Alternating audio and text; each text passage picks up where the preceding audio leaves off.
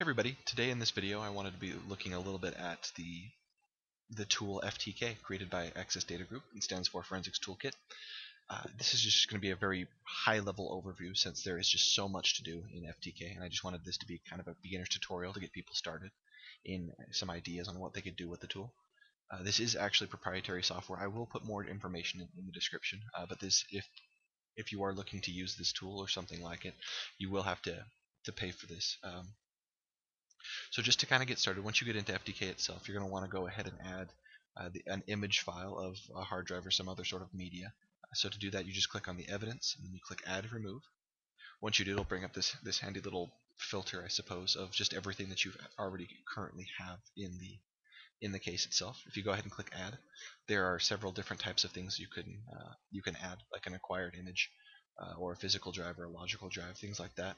Uh, once you do, it'll go ahead and it'll actually process them, break it down, and start carving them for you. So uh, it does a lot of the legwork for you, which is really really nice.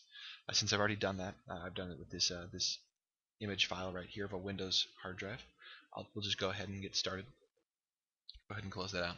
So right here in this first tab, just the Explore tab, um, it uh, basically just allows us to drill down into the the evidence itself. And it looks like we have two different partitions. There's two sections of the hard drive that have been allocated away you can actually go ahead and view the file structures and things like that if you want to. And go ahead and uh, see, for example, in this first partition we see that we have a couple of different users, such as a default user and uh, this guy named Comrade. And the second partition doesn't seem to have a whole lot on it, just a couple of pictures here and there. Uh, looks like a couple of compressed files. So the goal that I kind of wanted to get out of this is just to kind of show if, say that we were looking for kind of images or references to money uh, anything that had to deal with that in this hard drive. Just a couple of ideas behind that. We could just manually go through and click on a whole bunch of different folders and files to see, for example, if I wanted to click on this one right here, this Jew.jpg, we would see there's a, uh, it seems to be a big image. We have this thing called a money pocket. Doesn't appear to have actually any money in it, but that's that doesn't matter. But as you can see, this could be a little bit inefficient to just kind of look through everything. Uh, it will give us an idea if we have no idea where to go. We can just start looking through some stuff to see what we can find. Um, or we can head over and take a look at this overview. This overview will actually break down the files in the, the contents of the hard drive itself into useful things such as uh, file extensions, file categories, or evidence groups. So for example, if I look at file extensions, here we have a lot of common extensions uh, found in different th throughout anybody's computer. For example, uh, there's Microsoft Documents right there. Uh, if we scroll down a little bit further, we'll find some GIFs, um, HTML files, a JPEG, so just other images, things like that. So if we wanted to filter them by just by that, we could go ahead and look down, and we would be able to see a whole bunch of different images. For example, I'll just click on one here. It appears to be uh, if I double if you actually double click on it and it's an image, it'll actually bring it open in the Microsoft Photo Viewer. It appears to be a flag. So something interesting here is uh, it'll show you the actual file name itself. Uh, it'll show you the extension that it, it, uh, the actual extension that it is depending show uh, that, that, this will depend on the file signatures which I, I, went over in another video it'll show you the full path so in case you want to actually navigate to it you can pull this out and take a look exactly where this where this uh, where this resides we also have the sizes of, of the uh, the image so we know exactly how big it is and also the hash values as uh, we've also gone over in another file so you can actually go down you can copy this down and anybody else looking through it they should be able to get these exact same hashes. They have three different types of hashes, like I told you before about collisions, and just a couple of other useful pieces of information. Um, another way is if we were just looking for specifically images, if we went over to this graphics tab right here, what you can actually do is it, it goes through and you can actually drill down like you did before. But what you do is uh, say that you wanted to get all of the images that you could that the, uh, that the tool can find in the second partition. If you click on this arrow here, it'll highlight all of the other uh, all of the other um, all of the other file structures within this particular root here. We can see that there's four different images, and it looks like we we have found some that kind of deal with money. If we look down here in this window, it's not exactly the uh, the most friendly thing to view in uh, this small of a screen size that I have, but it does appear to be a big stack of Benjamins. This is in the uh, the natural view, so this is what it's actually going to look like you can go down here and if there's text you can view it in here and there's the uh, the hex values right here so we can actually go through and view that if we wanted to and we could we could actually carve something out if we wanted to say that we wanted to go ahead and save this kind of to, to review a little bit later you can right click on this and if you click add to bookmark, or you can actually create a bookmark. We can do that too. So I'll go ahead and show you what that is. Basically what that is, is it's just saying, I want to be able to review this or find this quickly at a, at a later date. So you can create a, uh, a bookmark name. We can say like money or something like that. I'm not actually going to save this. But then you can say where you want the bookmark parent to be, and you can add a whole bunch of different things to that.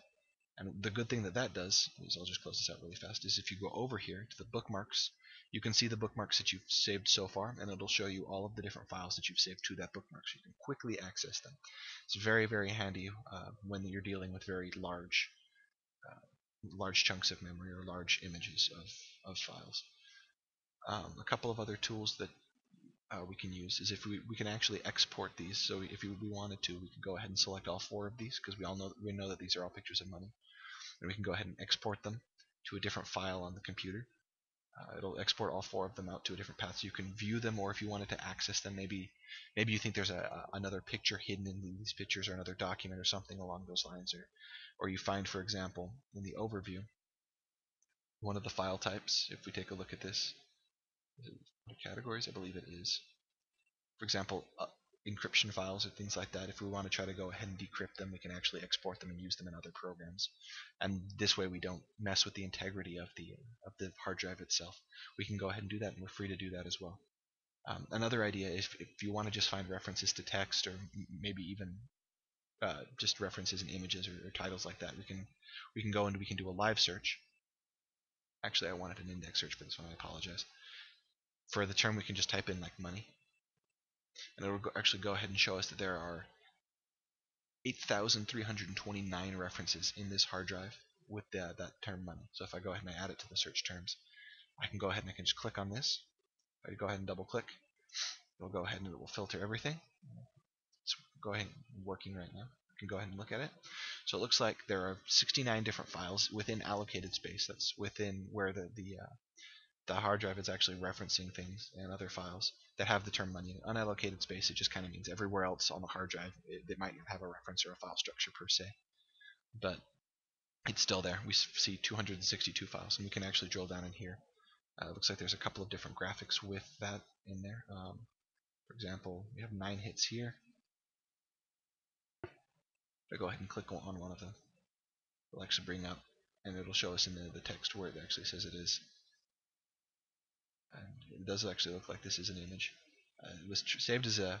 If you if you look right here, this is the uh, the image right here. It was saved as a .mp3 file, but as we can clearly see, this is uh this is not an MP3 file. This is a bunch of Benjamins.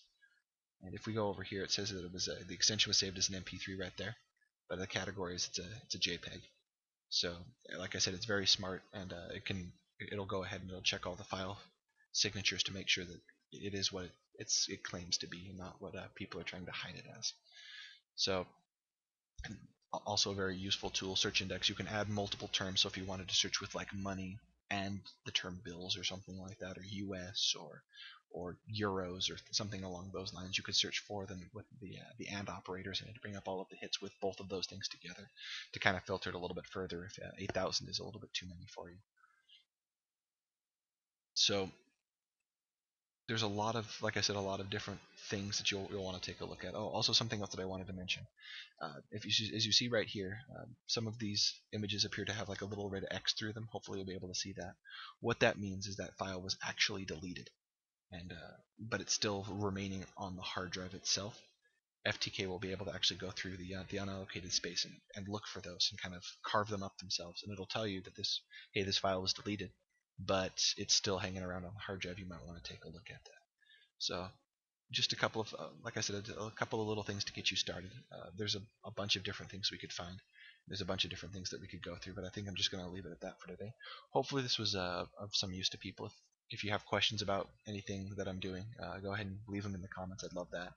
And like I said, I'll just leave a little bit more information about FTK if you want to uh, if you want to go ahead and take a look at that. There is actually a certification uh, for those people who do use FTK. So you can go ahead and become certified in this uh, tool. So yeah, other than that, I hope this has been useful to you guys, and I hope to see you guys in the near future. Have a good day.